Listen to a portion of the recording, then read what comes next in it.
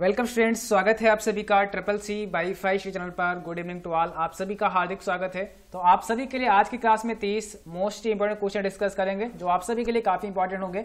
तो आप सभी लोग जल्दी से क्लास को ज्वाइन कर लीजिए, एक बार शेयर कर दीजिए, ताकि और भी स्टूडेंट्स क्लास को ज्वाइन कर सकें। Good evening to all. आप सभी का हार्दिक स्वागत है। तो चलिए स्टार्ट करते हैं क्वेश्चन नंबर वन आपकी स्क्रीन पर। और सबसे पहले आपसे पूछा गया, भारत में क्रेडिट कार्ड शुरू करने वाला पहला बैंक कौन सा था? ICICI H D F C State Bank of India या सेंट्रल बैंक ऑफ़ इंडिया तो भारत में क्रेडिट कार्ड शुरू करने वाला पहला बैंक कौन सा था? और ये क्वेश्चन काफ़ी इंपॉर्टेंट है। ट्रिपल सी एग्ज़ाम में काफ़ी बार क्वेश्चन रिपीट हुआ है। तो आप इसे अच्छे से याद कर लें, ठीक है? तो चलिए पहले तो आप आंसर बता दीजिए। फ़र्स्ट क्वेश्चन का राइट आंसर क्या होगा? कौन सा यहाँ पर करेक्ट जवाब होगा?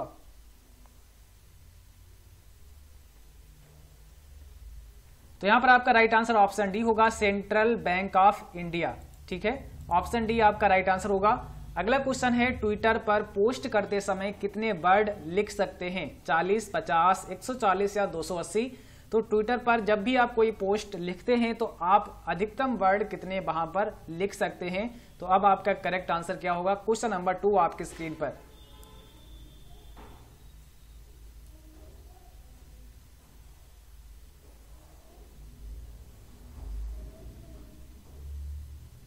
और यहाँ पर आपका राइट आंसर ऑप्शन डी हो जाएगा 280 ठीक है? जब भी आप ट्विटर पर पोस्ट करते हैं तो आप वहाँ पर 280 वर्ड लिख सकते हैं मैक्सिमम तो यहाँ पर डी ऑप्शन आपका राइट होगा।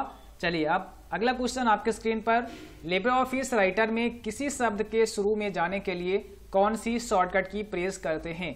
लेबर ऑफ़िस राइटर में अगर किसी भी शब्द के शुरू में जाना चाहते हैं आप तो कौन सी शॉर्टकट की प्रेस करेंगे? Control plus arrow right control plus arrow left control plus shift plus arrow left या नन ऑफ़ दीज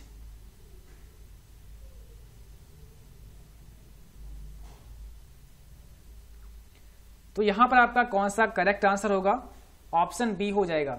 ध्यान देना कंट्रोल के साथ में लेफ़्ट एरो अगर आप प्रेस करते हैं तो आप किसी भी वर्ड के, जिस वर्ड के लास्ट में कर्सर होगा आपका, और उस वर्ड के आप शुरू में जाना चाहते हैं तो कंट्रोल के साथ में आपको क्या करना पड़ेगा? लेफ़्ट एरो प्रेस करना पड़ेगा, ठीक है? कंट्रोल के साथ में आप लेफ़्ट एरो प्रेस करेंगे तो आप किसी भी वर्ड के शुरू में जा सकते हैं। तो ध्यान रखना है कंट्रोल प्रेस करना है, साथ ही साथ आपको लेफ़्ट एरो प्रेस करना है तो आप उस वर्ड के शुरू में पहुँच जाएँगे। अगला क्वेश्चन है एवीआरएस का पूरा नाम। तो बताइए आप एवीआरएस का फुल फॉर्म क्या होता है? क्वेश्चन नंबर फोर आपकी स्क्रीन पर। क्या हो जाएगा इसका सही आंसर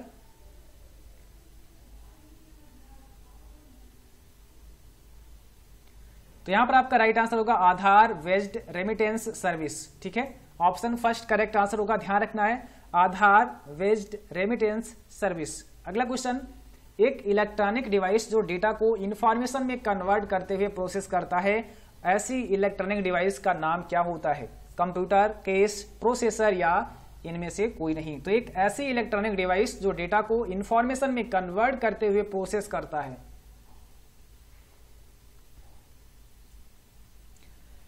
तो यहाँ पर हो जाएगा प्रोसेसर आपका सी ऑप्शन करेक्ट है ना? प्रोसेसर नेक्स्ट क्वेश्चन है सेल पॉइंटर को अगली सीट पर ले जाने के लिए कौन सी शॉर्टकट की है? सेल पॉइंटर को अगर आप नेक्स्ट सीट पर ले जाना चाहते हैं तो उसके लिए क्या शॉर्टकट की आप यूज़ करेंगे?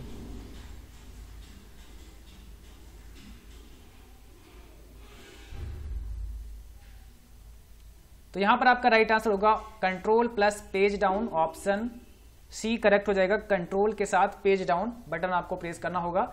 अगला क्वेश्चन है, दो वर्कबुक को आपस में मिलाने के लिए किस कमांड का उपयोग किया जाता है? मर्ज मर्ज वर्कबुक मर्ज बुक या उपरोक्त सभी?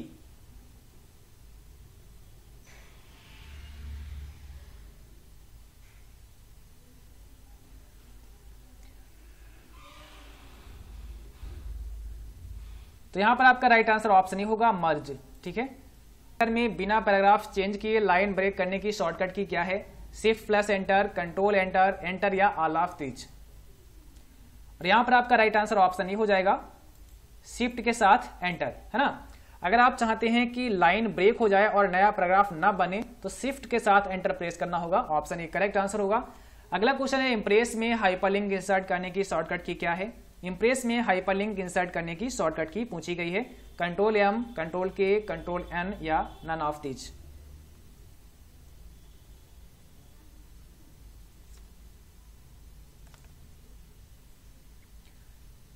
और यहाँ पर आपका राइट आंसर ऑप्शन भी होगा कंट्रोल के साथ के ठीक है? नेक्स्ट क्वेश्चन है इम्प्रेस में कुल मेनू कितने होते हैं? तो total number of menu Impress में कितने होते हैं? यहाँ पर आपका सही आंसर क्या होगा? तो ऑप्शन ए करेक्ट हो जाएगा दस। अगला क्वेश्चन है स्लाइड सॉर्टर व्यू कमांड किस मेनू में मिलती है? स्लाइड सॉर्टर व्यू कमांड आपको किस मेनू में मिलती है? तो यहाँ पर आपका कौन सा करेक्ट जवाब होगा? क्वेश्चन नंबर इलेवन आपकी स्क्रीन पर है। तो यहाँ पर हो जाएगा व्यू ठीक है? स्लाइड सॉर्टर व्यू कमांड आपको व्यू मेनू में मिलती है, जो कि ऑप्शन सी होगा। नेक्स्ट क्वेश्चन है ट्विटर का ओरिजिनल नेम क्या था? या ट्विटर का जो पुराना नाम था, उसे, उसका, पुराना नाम क्या था? है ना? तो यहाँ पर बताइए आपका सही आंसर क्या हो जाएगा? ट्वेल्व का। तो ट्विटर का जो पुराना नाम था T W double T R ये आपका करेक्ट आंसर होगा ऑप्शन ए अगला क्वेश्चन है maximum length of a tweet एक ट्वीट की अधिकतम कितनी लेंथ हो सकती है? और यहाँ पर आपका राइट आंसर ऑप्शन ए हो जाएगा 280 ठीक है? अगला क्वेश्चन है फायरफॉक्स क्या है operating system search engine web browser या मैसेंजर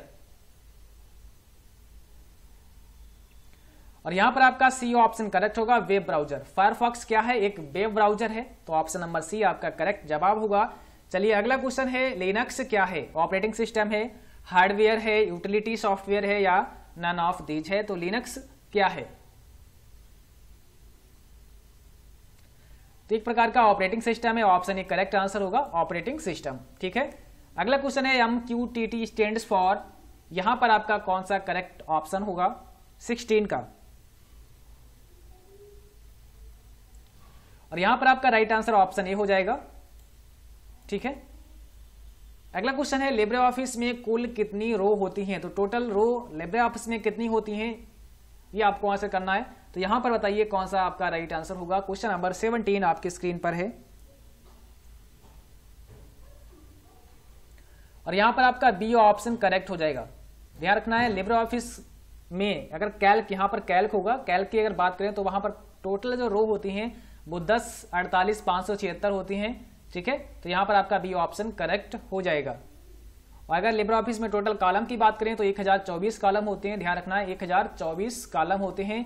और अगर लिब्रा ऑफ़िस में टोटल सीट की बात करें कि मैक्सिमम सीट कितनी हो सकती है तो दस हज़ार हो सकती है, ध्यान रखना है।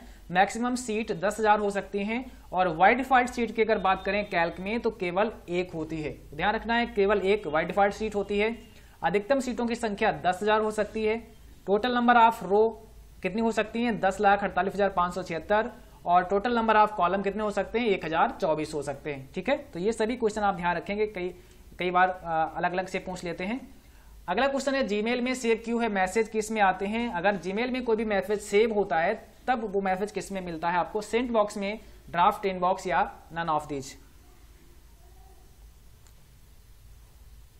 और यहाँ पर आपका बी ऑप्शन करेक्ट होगा ड्राफ्ट में। जब भी आप जीमेल में कोई मैसेज सेव कर देते हैं या कई बार आपने देखा होगा जब आप मैसेज सेंड करते हैं और मैसेज सेंड नहीं होता है किसी कारण से या फिर आप मैसेज लिखना आ, मतलब लिखना बंद कर देते हैं है ना?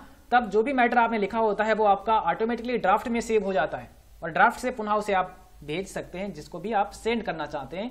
तो जो सेव होता है मैसेज जब वो ड्राफ्ट में हो जाता है ऑप्शन बी यहाँ पर सही आंसर होगा।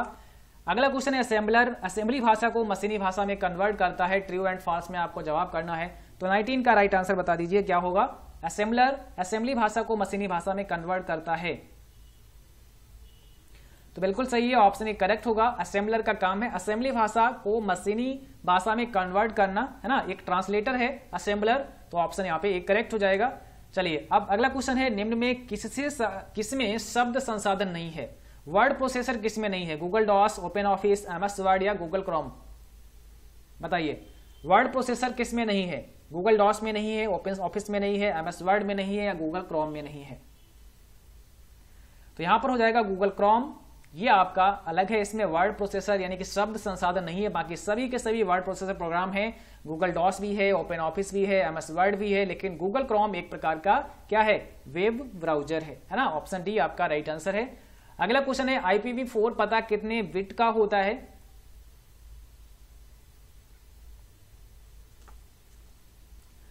तो यहाँ पर हो जाएगा 32 बिट्स IPv4 का पता कितने बिट्स का होता है? तो 32 बिट का होता है, ध्यान रखना है है ना? और आईपीवी सिक्स अगर पूछा जाए तो 128 बिट का होता है। तो यहाँ पर आपका होगा आंसर 32 बिट अगला क्वेश्चन है, सॉफ्टवेयर जो डब्ल्यू पर वेब पेज व्यू करने के लिए प्रयोग होता है, उस सॉफ्टवेयर को क्या बोलते हैं? Web reader web browser, web server या इसमें इसमें से कोई नहीं।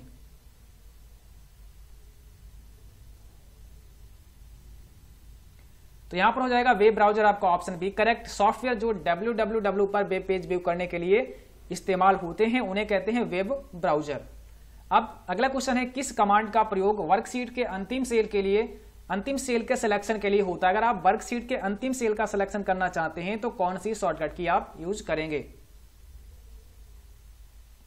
तो आपको कंट्रोल के साथ एंड बटन प्रेस करना होगा कंट्रोल एंड ठीक है? तो ऑप्शन डी हो जाएगा आपका राइट आंसर अगला क्वेश्चन है यूनिबैक है। यहाँ पर कौन सा करेक्ट आंसर होगा? यूनिबैक का फुल फॉर्म यहाँ पर पूछा गया है। तो यहाँ पर आपका राइट आंसर क्या होगा? Universal automatic computer option A correct answer हो जाएगा। अगला क्वेश्चन है कंप्यूटर स्क्रीन पर विलिंक करने वाले प्रतीक को कहते हैं, जो आपने देखा होगा एक सिंबल होता है जो ब्लिंक करता रहता है कंप्यूटर स्क्रीन पर, उस सिंबल को क्या बोलते हैं? माउस, हार्ड ड्राइव, पॉइंटर या कर्सर। और यहाँ पर हो जाएगा डी ऑप्शन करेक्ट। उस सिंबल को बोलते हैं कर्सर। है ना? कर्सर क्या होता है? एक सिंबल होता है जो ब्लिंक करता रहता है। आपके सामने आपने देखा होगा, जब भी कुछ लिखते हैं तो एक सिंबल होता है जो ब्लिंक करता रहता है, उसे बोलते हैं कर्सर। अगला क्वेश्चन है वीजीए का फुल फॉर्म क्या होता है? 26 का आप करेक्ट जवाब बता दीजिए, क्या हो जाएगा? वीजीए का पूरा नाम। तो यहाँ पर हो जाएगा वीडियो ग्राफिक्स अरे, ऑप्शन ए, करेक्ट। अगला क्वेश्चन है, कंप्यूटर विंडो लॉक करने के लिए कौन सा शॉर्टकट इस्तेमाल करते हैं? कंप्यूटर विंडो अगर आप लॉक करना चाहते हैं तो इसके लिए आप क्या शॉर्टकट की यूज़ करेंगे? All alter plus delete window key plus L control plus L या शिफ्ट कंट्रोल प्लस एल तो यहाँ पर आपका राइट आंसर ऑप्शन बी हो जाएगा विंडो की प्लस एल है ना? कंप्यूटर विंडो को लॉक करने के लिए आप कौन सा शॉर्टकट की इस्तेमाल करेंगे? विंडो की के साथ में एल बटन प्रेस करना होगा तो आपकी कंप्यूटर स्क्रीन लॉक हो जाएगी। अगला क्वेश्चन है बैंकों में चेक व ड्राफ्ट में इसका प्रयोग किया जाता है मीन्स किसका प्रयोग किया जाता है? बारकोड का एमआईसीआर का ओ एम आर का या सीपीयू का?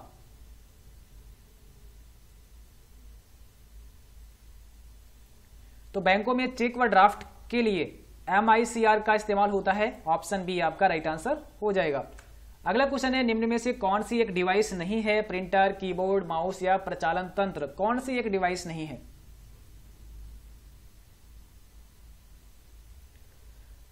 तो यहाँ पर आपका डी ऑप्शन करेक्ट होगा। प्रचालन तंत्र, जिसे कहते हैं ऑपरेटिंग सिस्टम ये डिवाइस नहीं है, बाकी सब के सब डिवाइसेज हैं। अगला क्वेश्चन है अकाउंट पे चेक में पैसे कैसे मिलते हैं? खाते में बैंक में चेक दिखाकर या कोई नहीं? तो अकाउंट पे ही चेक में पैसे कैसे मिलते हैं? यहाँ पर आपका राइट आंसर ऑप्शन ए हो जाएगा, खाते में, ठीक है? ऑप्शन ए करेक्ट आंसर होगा खाते में, और आज की क्लास से सभी एक क्वेश्चन और बचा हुआ। चलिए इंस्टेंट मैसेजिंग के लिए किस सर्वर का प्रयोग होता है?